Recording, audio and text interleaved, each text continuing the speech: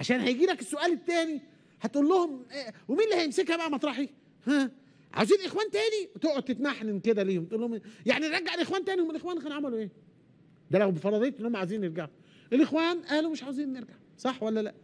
وقالوا إحنا ورا الشعب مش قدامه خلاص. يعني بتطالبوهم إنهم ورا اهم ورونا أنتوا بقى الشنبات. يلا يا رجالة. الإخوان هوريك الفيديو بتاع الأستاذ إبراهيم منير دلوقتي. وراهم يلا يا رجالة. طب الإخوان غابوا يتعتب عليهم حضروا يتشتموا. طب نعمل إيه؟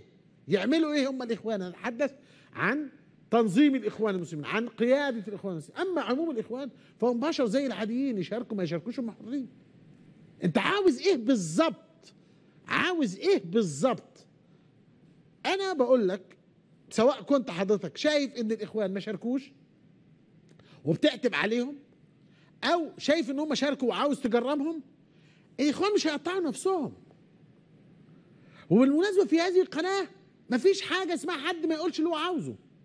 هذه القناة فيها مساحة للديمقراطية أنا بتكلم بما عهدته ست سنين.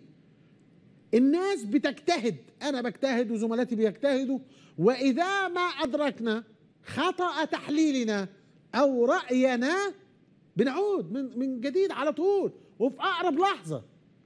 لأنه ضمايرنا هي اللي بتحكمنا. وهذا كلام يسري على كل زملائي بلا استثناء. وأنا أحيي فيهم ده إنه إحنا إذا غلطنا الواحد لو غلط والهوا مغري ممكن إيه يرجع. لكن في مساحة حرية وديمقراطية مش موجودة في أي حتة.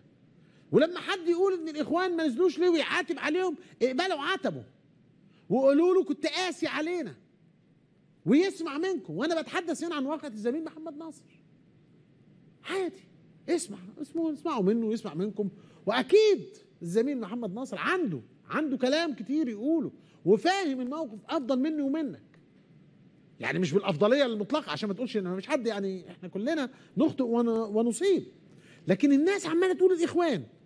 تروح اليوم السابع تحس إن اللي عامل الحراك مين؟ الإخوان. تروح عند أحمد موسى تحس إن تروح في حتة تانية يقول لك لا ده مش الإخوان الاخوان قضينا عليهم. انتهوا. ماتوا. طب يعملوا إيه الغلابة دول والله؟ يعملوا إيه؟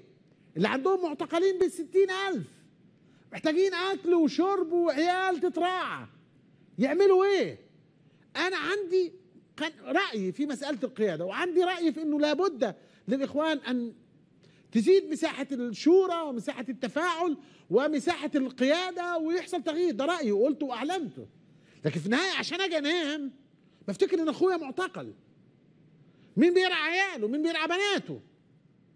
ما بقولش الإخوان بيعملوا كده بس أخويا مش الإخوان لكن تبجار اللي كان جنبي بتاع الجراحة واخد 10 سنين ولا 15 سنة ولاده وعياله وجلسات وروح وتعالى. الإخوان عليهم حمل كبير ويشكروا عليه.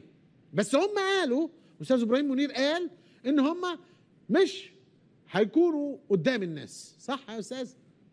وأنا بأناشد الأستاذ إبراهيم انه يقول بيان واضح وصريح. مرحلة ما بعد السيسي هي مرحلة انتقالية ليس فيها منافسة سياسية كما وضعت أنا في آه، المذكرة اللي أنا كتبتها. ليست منافسة على الإطلاق. والبلد منهارة. وبالتالي يجب أن يكون وضوح شديد في هذا الأمر. لا يتقدم الإخوان. من حق الإخوان يتقدموا ولا يتقدموا لكن أنا بقول رأيي أنا أنه لا يجب أن يتقدموا لحكم هذا البلد وأنه هذا البلد يحتاج إلى جبهة وطنية تحكم وأن يكون الإخوان برصدهم الكبير في العمل الاجتماعي والدعوي والنقابي موجودين وأحزاب تمثل التيار الإسلامي موجودة البلد صعب وضعها والكلام بتاع الأستاذ إبراهيم مطمئن ومطمئن للغاية لكن ال- اللود كبير على الإخوان. أنا وصلتني رسائل وبتتكلم على موضوع المشاركه من عدم المشاركة والناس بتتكلم. الإخوان حاضر غايب أو غايب حاضر إن صح التعبير.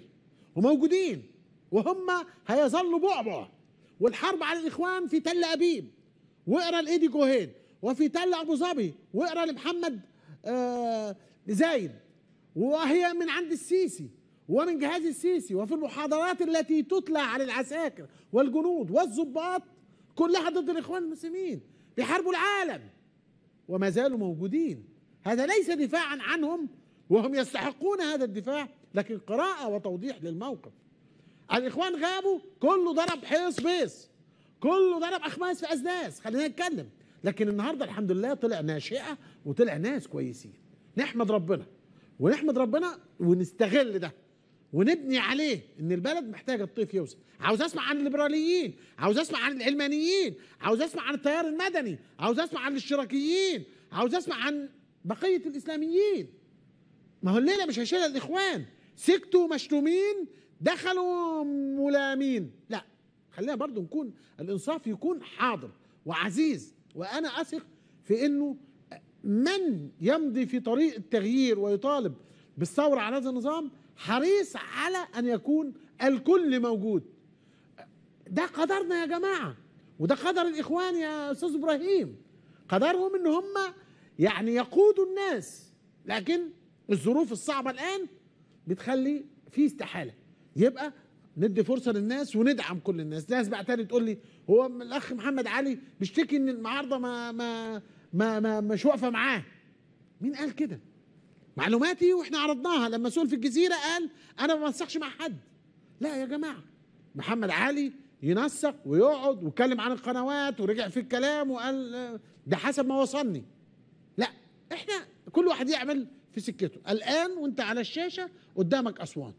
أسوان فيه دي عربيات شرطة ولا إيه بالظبط يا شباب؟ آه. قاطعين الطريق. وبتطلق بتاع ده هو إيه اللي بالشرارة دي بيطلع ده؟ بيجروا عليها. ناحيتها يعني.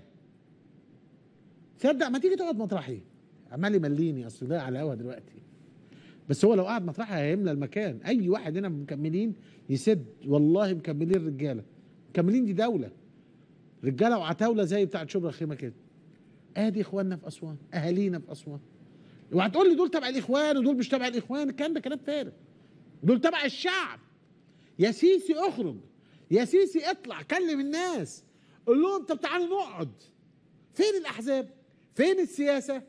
فين التفاهم؟ فين بتحب بلدي وبلدي تحبني؟ أركب العربية ومصر تزقني فين؟ مفيش.